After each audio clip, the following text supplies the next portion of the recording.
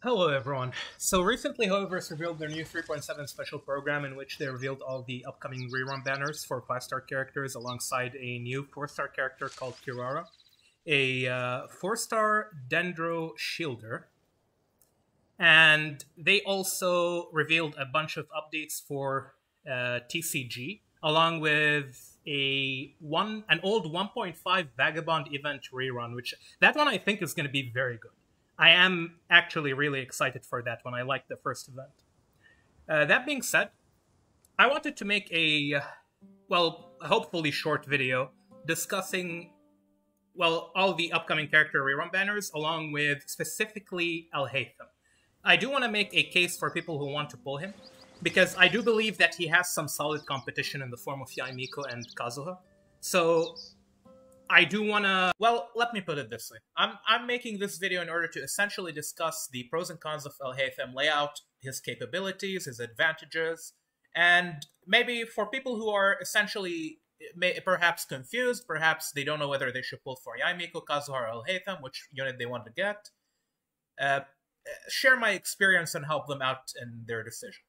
I want to get this out of the way early on because I know a lot of people are going to have this question. And a lot of people already know the answer to that question, which is who's the best upcoming character in patch 3.7? What's the best upcoming rerun banner?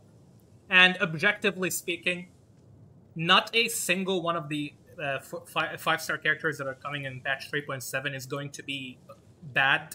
They're all good characters, they all have their uses. That being said, objectively speaking, Kazuha is, for a fact, the best character in patch 3.7. If you don't have Kazuha, and you would like to get Kazuha, and you think that Kazuha is going to be valuable for your account, well, realistically speaking, he will be valuable for your account. I do highly suggest that you pull for him. Uh, that being said, if you're someone who does not have Kazuha or does not want Kazuha for some reason, or maybe you just want to pull for some other character, well, I'm going to make a case for all the upcoming characters, and specifically Alhaitham.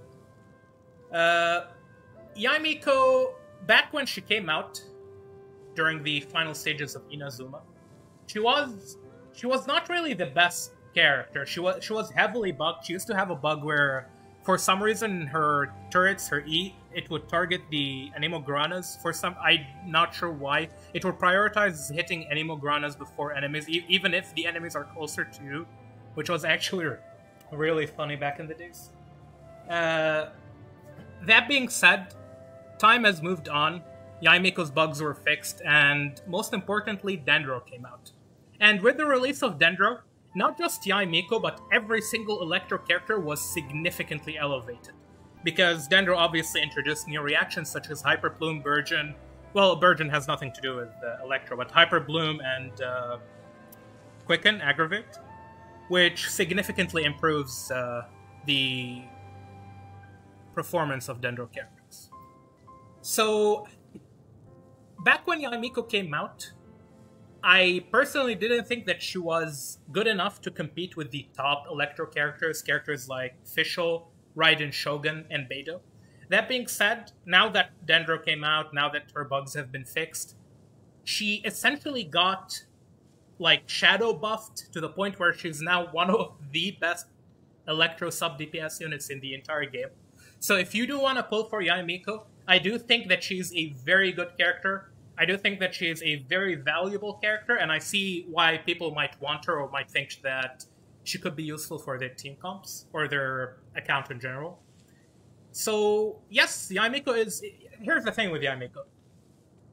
In my opinion, it is very, very difficult for you to pull Yae Miko and regret having Yae Miko on your account. It is almost impossible, actually. It's so Kazuha is one of those characters where if you get Kazuha, it's also like nigh impossible for you to regret getting Kazuha because of how good he is as a character. That being said, Yae Miko is, in my opinion, on the same level in terms of like being satisfied with the character that you get. And the reason I say this is because you can play Yae Miko on field. That's it's not her optimal playstyle, but you can if you want to. That being said, Yae Miko is an off-field DPS unit, sub-DPS unit actually. And getting value from her turrets, getting value from her off-field damage is extremely easy, and you can just simply have her do damage while you play your, your favorite characters on field, and it, it's just really easy to get value out of this character. Moving forward, we have Yoimiya. Now, if I would rank the upcoming 3.7 banners in terms of like the raw value of the five star that you're getting, I would personally rank it as Kazuha number one, Alhaitham number two, Yae Miko number three, very closely tied with Alhaitham, like almost the same level of value, and then Yoimiya number four. Now, that does not mean Yoimiya is a bad character. The notion that Yoimiya is a bad DPS unit, the notion that Yoimiya is uh, not gonna allow you to clear, like using Yoimiya is not gonna allow you to clear Spiral Abyss or any hard content in Genshin. Not that there is that much hard content in Genshin to begin with, but that's that's a topic for a different day. Is incorrect. Yoimiya is gonna allow you to clear the hardest content in the game as long as you use her correctly. She will do her job, which is doing damage, and she does it quite effectively. She is a ranged uh, DPS unit, ranged single target DPS unit, and she is very good at what she does. And I really, well, here's the thing. Yoimiya isn't gonna out damage characters like Hu Tao. She's not gonna out damage characters like Alhaitham. She will in some very specific situations. That being said, overall, characters like Hu Tao and Alhaitham are gonna objectively just do more damage on field. That being said, she is so convenient to use. She is so easy to use. She is so well. I don't want to say good to use because she does have some clunkiness issues where she can get interrupted while casting her auto attacks. That being said, those issues can be fixed with a shielder like Thoma or Zhongli. Uh, but her ease of use is very valuable. Because a lot of people play this game on mobile, right? Or let's say one day you just wake up and you don't want to try. And Yoimiya is the perfect AFK character. She is such an easy character to use, such an easy character to pilot, that it's really hard to play her and go wrong with her. Like, as long as you essentially just press E when you have energy in order to proc Shimenawa's. You could also use Echoes of uh, the artifact set, Echoes of an Offering, but I do recommend Shimenawa's over Echoes. That being said, if you don't want to farm, it, I mean, Shimenawa's comes with emblems, so realistically speaking, you would want to farm that domain. But let's say you're like a Xiao main, like me, or like Xiox, and you farm Vermilion for over two years aware. Uh, and you have a lot of good Echoes of an Offering pieces, and you want to just play your Mia with Echoes of an Offering, she'll, she'll work with it. Not her best in slot set, but it's pretty good. So as long as I was saying, you, as long as you proc Shimenawa's with her with her E and then auto attack, it's almost impossible to go wrong with Yoimiya. That being said, now let us move to the main character of this video, which is Alhaitham. Now, back when I ranked the characters, I did say that the most valuable character in the game is Kazuha. And if you do not want Kazuha, or if you don't have, uh, sorry, if you want Kazuha, and if you have, if you don't have Kazuha on your account, then I highly recommend that you do pull for Kazuha. That being said, Alhaitham, in my opinion, is well, he's not underrated. People, I think most people understand how strong he is, but I don't think that most people realize how valuable this character can be to your account. He is a really, really, really good character. And I'm gonna uh, make a case for him in this video, discussing his pros and cons. He has, he actually has very few cons. It's, he's not really a character with many weaknesses, especially if you get, uh, if you go far further in his constellations. Now, I do have to say this. It is extremely well, I I personally just simply highly not, don't recommend pulling for constellations. It is simply more valuable to get more characters rather than getting more constellations because characters unlock new gameplay. Constellations simply improve the characters that you have. And sometimes they don't even improve them that much. That being said, I do think some of Alhaitham's constellations are really good in terms of quality of life. Starting off, uh, for people who might not know, or maybe people who have forgotten Alhaitham's abilities, his normal attacks are a simple five uh, strike combo. Uh, they do look cool. I do have to say, this character, well, one of his pro pros, in my opinion, this character looks really good. And it's something that is, in my, well, at least for me, it's something that's really rare to see in Genshin. Like, this guy, he looks good. This is a character that you can pull and just walk around with in the world of Genshin, and he looks badass. So I think that is that it's not really it's not a reason really to uh, validate his strength in terms of meta or his damage or I guess his value as a unit, but well you gotta give him something for looking this cool, right? And his normal attacks are also really good. They supplement his uh, style. They work really well. They are very fluid and they are quite fast. Not really the fastest. I think Xiao attacks faster, but they are they are considerably fast. And the value of his normal attacks is that they do uh, considerable damage. It's not like his not his autos are not gonna hit as hard as someone like uh, let's say Ayato. Ayato, well, they will hit as hard as Ayato, but Ayato hits significantly faster, which allows Ayato to do more damage with his normal attacks. That being said, the primary value of Alhaitham's normal attacks, which goes back to how fluid they are, is they allow him to drive his own mirrors really well, and his mirrors are essentially his the bulk of his damage. So, how do his mirrors work?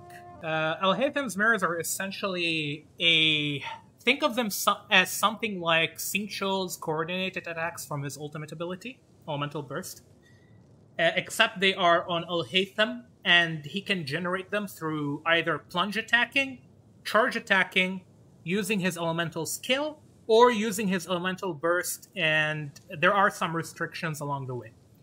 What are the restrictions on Alhaitham's uh, mirrors? Well, first of all, I did say that he can generate mirrors through plunge attacking or charge attacking. Uh, this shares a cooldown along with his like the both the plunge attack uh, mirror and the charge attack mirror they share the exact same 12 second cooldown from his ascension talent his first ascension talent and this essentially means that you cannot charge attack wait for uh, three to four seconds i believe his mirrors last for four seconds let me check uh, they last for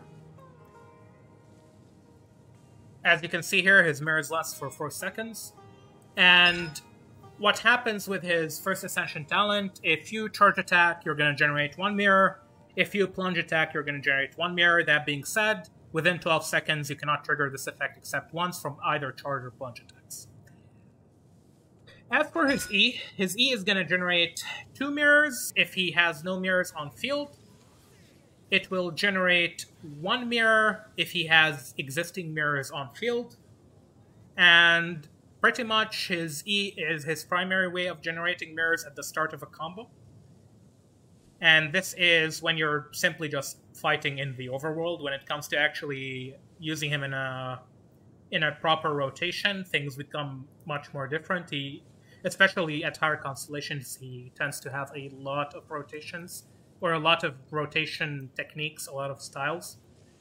Uh, that being said, the combo that you're going to use most of the time is going to be ulting with his uh, elemental burst, which will generate three mirrors if you do not have any mirrors on the field. So the way his elemental burst works, let me just explain it really quickly for the, for people who do not know. He's gonna essentially create a dome, a very small dome that is similar to Keqing's ult, which is why people used to say that he is Dendro Kiching. By the way, this character I, back when back when he was first released in patch 3.4, people used to say that uh, Alhaitham is Dendro Keqing. In my opinion, this cannot be further from truth. They do share similar animations. That being said, in terms of gameplay, they play very, very differently. Obviously, I'm not trying to bash Keqing. Keqing is a character that I like. I think she's a good character. But uh, and Keqing, they do not play the same. And that can be significant for people who, let's say, someone like really likes Keqing, but doesn't know how Alhaitham plays, and you tell them that Alhaitham is Dendro Keqing, right?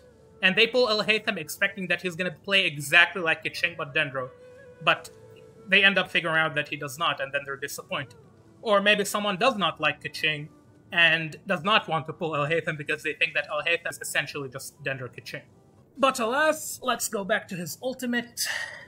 So what it does is that, again, it's going to generate a number of mirrors that corresponds to the amount of mirrors that Alhaitham has on field when he casts the ult.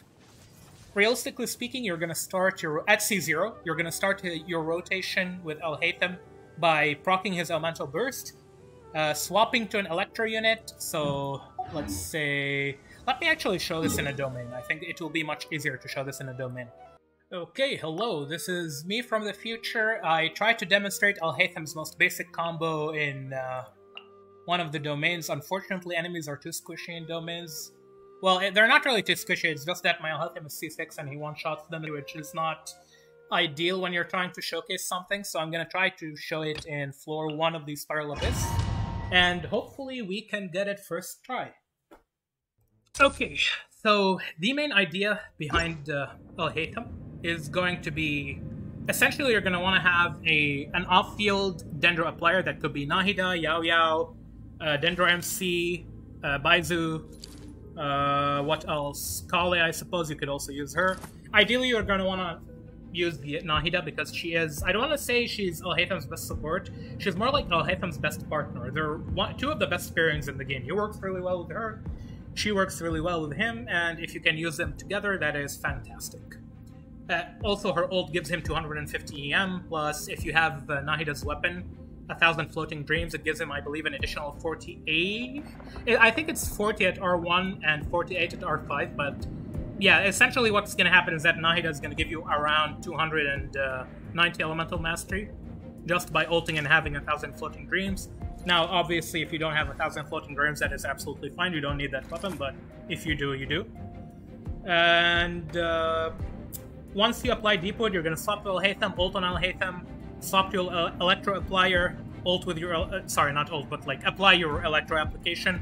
Now, ideally speaking, the best uh, Electro appliers are going to be Fischl, Raiden Shogun, and uh, Kuki, because their uh, animation is short enough that you can deploy their elemental skill, and their elemental skill lasts long enough for Alhaitham to consistently proc spread, which is extremely important. So here's what's gonna happen. We're gonna apply Deepwood, Bolt on Nahida to get 290 EM with 1000 floating dreams.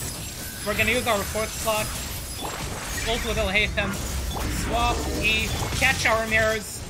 So, first mirror proc, second mirror proc, we're gonna E, refresh, again mirror proc, mirror proc, and then ideally here we'll charge attack. So Okay, this is gonna be our last mirror proc. I messed up, but that's fine. We're gonna apply Deepwood again. Ult.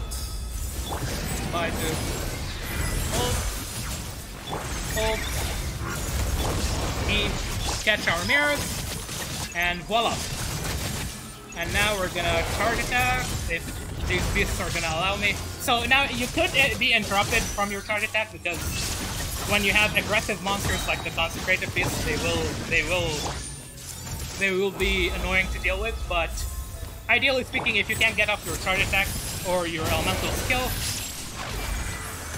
you're gonna refresh your mirrors and you're gonna have a 12 to 16 second uptime on your mirror damage duration. Okay, so I was thinking about making a list of uh, rotations and combos that you can use for C6. That being said, uh, I didn't want to make this video too long and ended up deciding to scrap that idea out. Uh, if you guys are interested in uh, a separate independent video that details all of Alhaitham's combos, all the available combos that you can use in C0, all the available rotations that you can use in C6, then you can let me know down in the comments and I'll be more than happy to make one of those. In terms of artifact sets, Alhaitham's best artifact set is always going to be Gilded Dreams, uh, until a uh, future Dendro set gets released that is focused on main DPS units and supplements uh, elemental skill damage, because the majority of Alhaitham's damage comes from his normal attacks and elemental skill, primarily elemental skill, uh, which makes the elemental mastery that you get from uh, Gilded Dreams extremely valuable, because again, Alhaitham's triple dips into Elemental Mastery. Not only does he scale with Elemental Mastery on his base scalings, where, as you can see here, his mirror scale with Elemental Mastery and Attack. Obviously, Elemental Mastery being better than Attack in terms of scaling. Uh, his ult also scales with Elemental Mastery. His second Ascension passive uh, provides him 0.1 damage bonus for every uh, elemental point in elemental mastery that he has, which is essentially just another further uh, scaling in elemental mastery for his kit. And this all goes without mentioning the fact that Alhaitham's primary way of dealing damage is through activating the Quicken reaction and then uh, spreading all of his mirrors and his normal attacks and his elemental burst in order to do as much reaction damage as possible.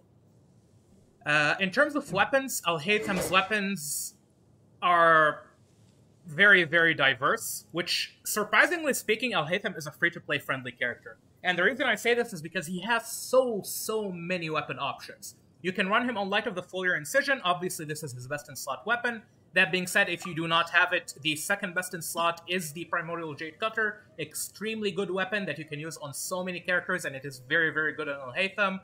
Uh, Haran Geppaku Futsu works well. The normal so the normal attack damage bonus from Haran Geppaku Futsu is not as ideal as uh, the uh, the passives on Primordial Jade Cutter and Light of the Foliar Incision. That being said, the crit rate, in addition to the high base attack and the uh, and the well decent passive, provides for a good combination. You could also run him on uh, Skyward Blade. It's not recommended for optimal damage. That being said, if you don't have any other options, Skyward Blade can work. Although I have to say, if you're running him on Skyward Blade, make sure that your uh, other ER sources are essentially zero, because Skyward Blade pretty much gives you all of the ER that you need. You do not need more than 155 ER. Uh, so if you're running this weapon, make sure that all of your artifacts are focused on offensive stats. In terms of uh, free-to-play weapons, free-to-play options, you can run Iron Sting, you can run uh, Toukabou Shigure, which is Alhaitham's best in slot 4 star weapon. You could also run him on uh, Moonlight, which is another really good weapon that Alhaitham can utilize. It provides him more supportive utilities for the team. Uh, Lion's Roar can work in certain instances. That being said, I do not recommend it as an optimal weapon. That being said, if you have no other option, it will it will do the job.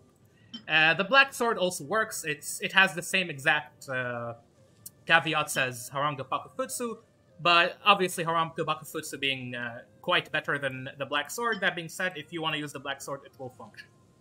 Uh, other options that I might not have mentioned includes the upcoming weapon banner, which Alhaitham's uh, Light of the Foliar Incision is going to be featured on, which is another topic that I wanted to talk about. Light of the Foliar Incision is going to be featured alongside Kazuha's weapon, because Alhaitham and Kazuha are getting reran at the same time. And because Alhaitham and Kazuha are getting reran at the same time, you're going to have two really, really, really good weapons for Alhaitham.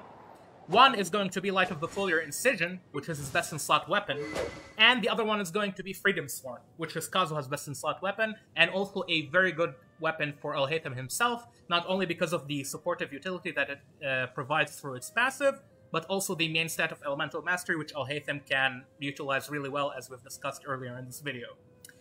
Uh, that being said, I should say this.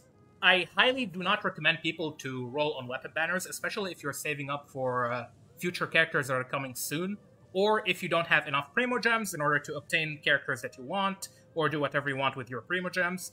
Uh, weapon banners can be very dangerous because the chance of you getting the weapon that you want is not only low, but it also requires around uh, 70, 80 pulls in order to obtain the weapon, assuming you don't get lucky and go to Hard Pity. Uh, that being said, if you do decide to pull on the weapon banner, both weapons, both Freedom Sworn and Light of the Foliar Incision, are going to be very, very good weapons for Alhaitham. Obviously, Light of the Foliar Incision being the best one. In terms of host constellations, I'm going to discuss them really quickly. Uh, again, I do not recommend anyone to pull for constellations. Constellations are not necessary. Alhaitham is a perfectly viable unit at C0.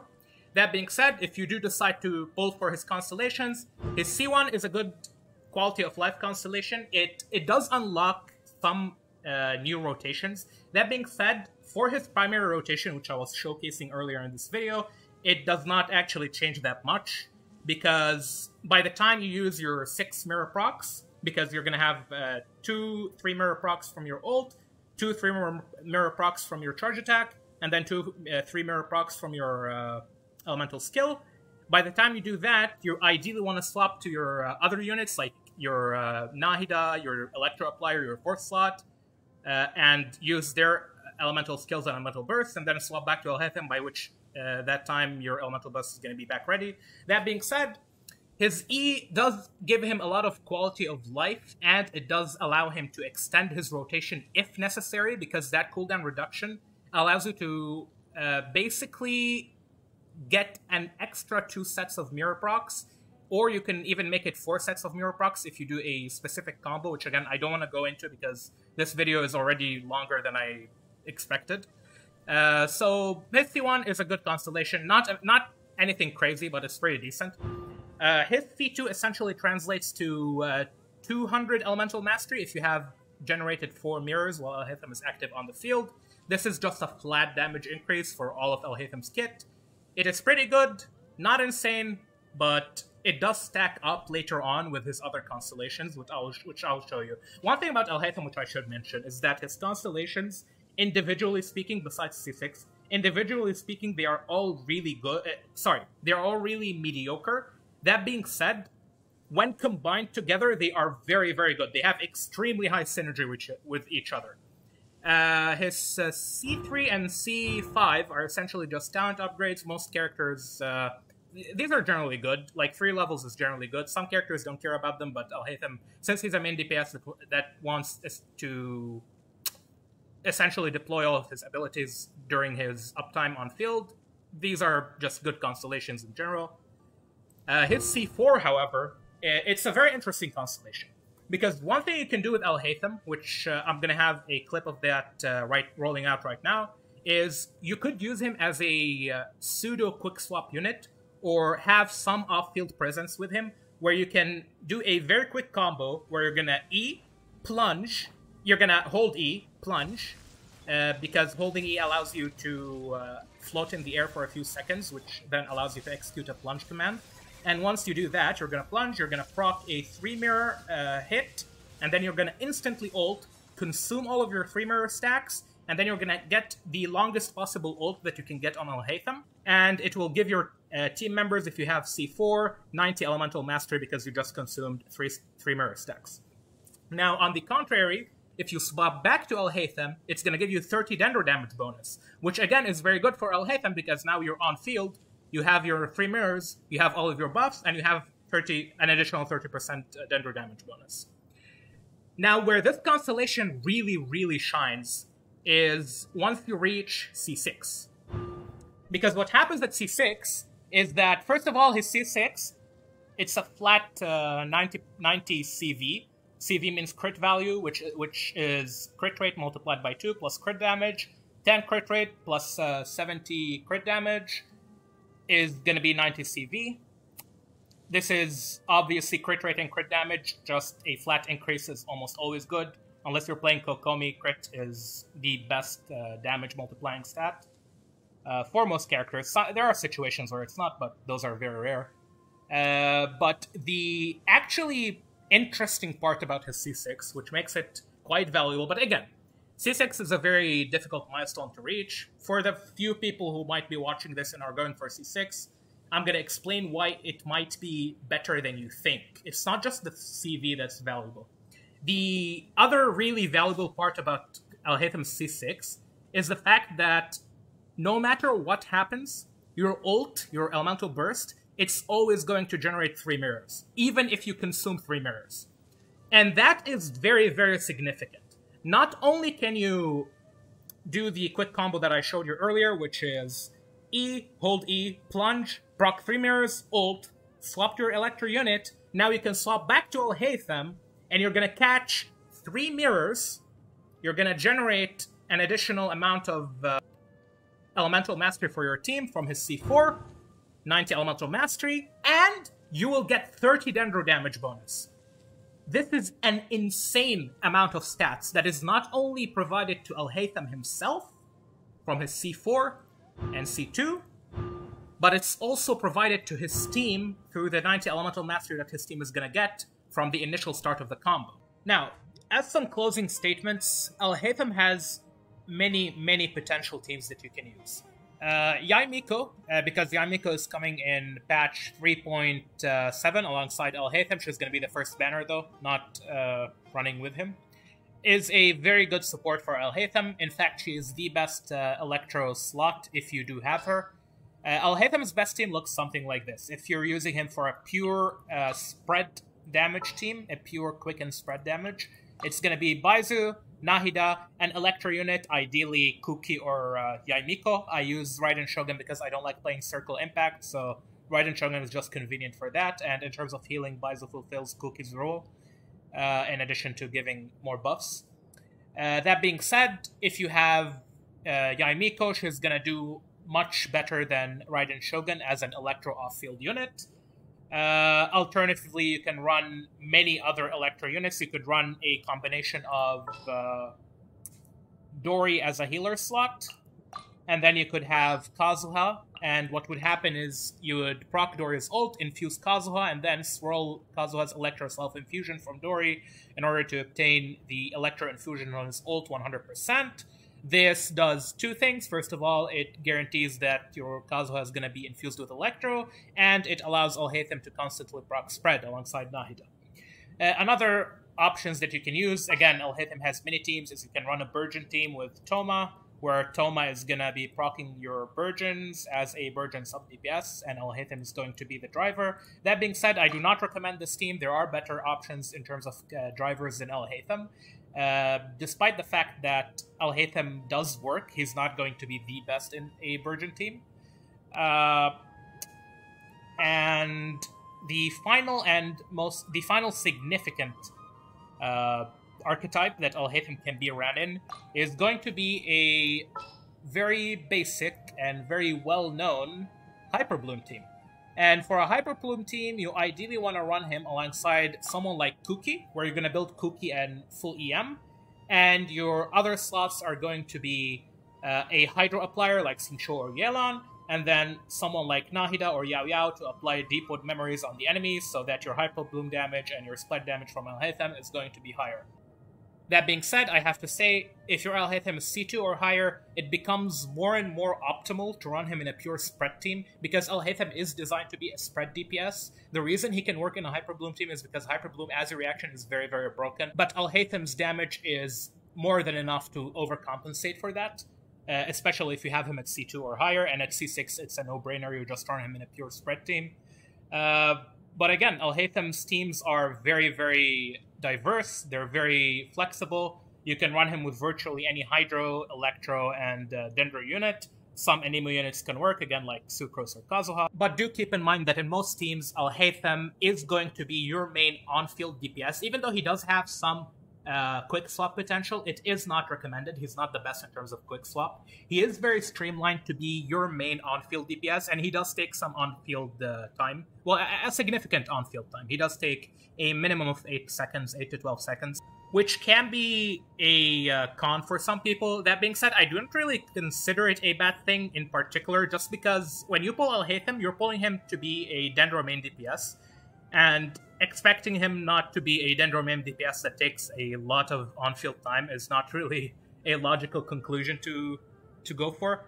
Uh, in terms of characters to pull for, again, all of the characters coming in patch 3.7, which includes uh, Yae Miko, Kazuha, Alhaitham, Kirara. Well, I didn't talk about Kirara. Kirara is going to be fun. She's going to be good. Not not the best uh, Dendro unit, but she's going to be functional. Uh, regardless, in terms of flat star reruns, Yoimiya, Kazuha, Alhaitham, and Yae Miko, they're all going to be good characters. I just wanted to make this video in order to talk about Alhaitham's, uh, Alhaitham's potential. I do think that most people understand he's a strong character. I just think that a lot of people don't realize that he is better than what they probably think. He is a very solid character, a very good character. You're probably not going to regret him if you pull him because I don't really see a good on-field main DPS unit that is gonna come in the future as good as Alhaitham for at least a year. You can you can hold my word for at least one year. I don't think Fontaine is gonna have any main on-field Dendro damage dealers. Hopefully this uh, doesn't age you like cheese though. Uh, but again, uh, thank you all for watching this video. I hope the best of luck in your pulls. I hope you get all the characters that you want, all the weapons that you want. I hope you get all the artifacts that you want. That being said, I think these wishes are over ambitious. But regardless, again, best of luck in your pulls. Uh, please give Alhaitham a chance if you if you want to try him. If you if you're on the verge, I do think you're gonna like him. Do give him a chance. He's gonna be a very good character and he does function well with a lot of characters that are coming out in the future. I do think that he's going to work really well in Fontaine later on, because Dendro in general works just really well with Hydro. Uh, thank you all for watching, and have a great rest of your day.